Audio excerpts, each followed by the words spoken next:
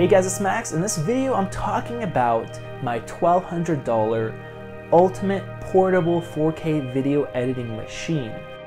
Now, you guys have asked a lot of questions about this computer. Usually it's right back there behind me. And I wasn't gonna make a video on it until I got so much requests, people asking about information, stuff like that. If you guys wanna know the full spec list, I'll have a link in the video description. The computer's in here. My main goal for this build was for it to be portable, for it to run OS X so I can use Final Cut, my preferred video editing software, and for it not to cost a lot of money. Now the reason I built this machine is after I did my comparison test between my Mac Pro that cost me 5 grand and a $3,000 5K iMac, I was really surprised how well the iMac did. It beat it in majority of the tests. I kind of set out to build a machine that is inexpensive and it's gonna edit really well. This is it, so let's take a look at how it looks when I take it out of the backpack.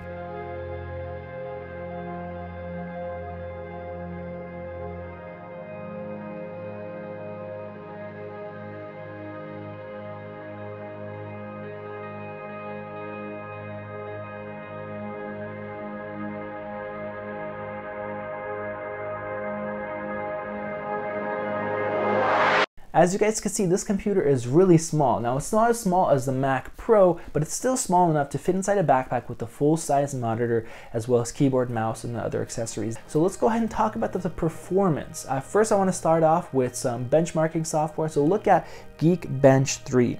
Now you see that uh, the Hackintosh performs very similar to the iMac. Now that's because they're using the same exact processor, same amount of uh, RAM in there.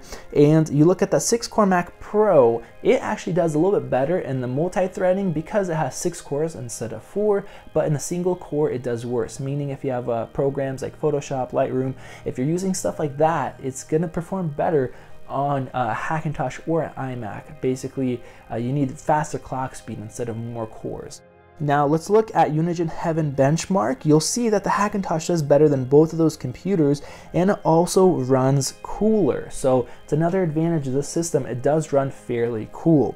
Now let's look at some video editing performance. Looking at 1080p in Premiere Pro, you'll see the Hackintosh does the best out of all three systems. Going over to Final Cut, you'll see the iMac exports the fastest. Now this is gonna be something you're gonna see a lot. It's using Intel QuickSync technology to really push uh, the export, so it definitely takes the lead there. But as far as actually editing the video, it's gonna perform very similar to the Hackintosh. Looking uh, at some uh, footage with LUTs and grain applied, you'll see in Premiere Pro, the Hackintosh once again is doing the best, and in Final Cut, um, it's right there in the middle, doing better than the Mac Pro. So taking a look at 4K, you'll see uh, that once again, it's the fastest in Premiere Pro, and in Final Cut, it does take third place. Now this last test is the most stressful test. It's four 4K videos scaled into a 4K timeline. Each one of those videos has two LUTs applied and film grain. So it's a really, really stressful on a system. So here you see in Premiere Pro, it's definitely taking third, the iMac's definitely taking third place and the Hackintosh is leading ahead once again. So it's really doing that, taking care of that well. And uh, Final Cut, iMac once again does take first place. That's why it's really impressive, but it's using Intel QuickSync technology. And uh, my Hackintosh does exactly the same time as that Mac Pro that costs three times more when it's used or four times more when it's new. So there you go, you guys could see the performance of this machine. It really does well. Now, one thing that it really also leads ahead is the temperatures. It runs a lot cooler and also quieter than the iMac because the iMac is made to be just thin and beautiful. So the iMac does overheat when it's transcoding or if you're doing some gaming and it has to throttle the CPU down.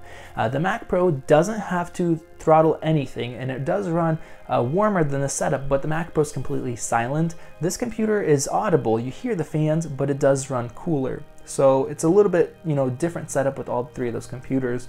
Uh, so I'm, I'm basically really happy with how this thing performed, how well it did when I needed to be traveling uh, to different locations. The reason why I am putting together a different computer is because I don't need to travel anymore. I'm basically in my office all the time when I'm editing, so I got a bigger motherboard uh, and a bigger case so I can have a RAID setup in there as well as 32 gigs of RAM course, any small system with a micro uh, mini ITX board, it's only going to support 16 gigs RAM, which is enough for most projects really.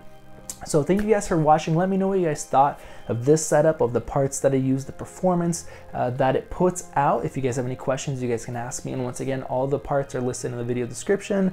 And if you want to take a look at the backpack I use or the monitor, if you want to copy this build, uh, you guys can find the info as well. So this really proves that you don't need a Mac Pro if you want to be portable and if you want to have good performance. And it also proves if you need to be portable, you don't mind taking a little bit more weight, you don't need to buy a laptop. You can get better performance, about twice as good performance compared to a MacBook Pro at about half the price. So definitely performance per dollar, especially when you're looking into having something that's portable, this thing is ultimate. That's why I called it the ultimate uh, 4K portable computer. So uh, let me know what you guys think, and I will see you guys in the next one.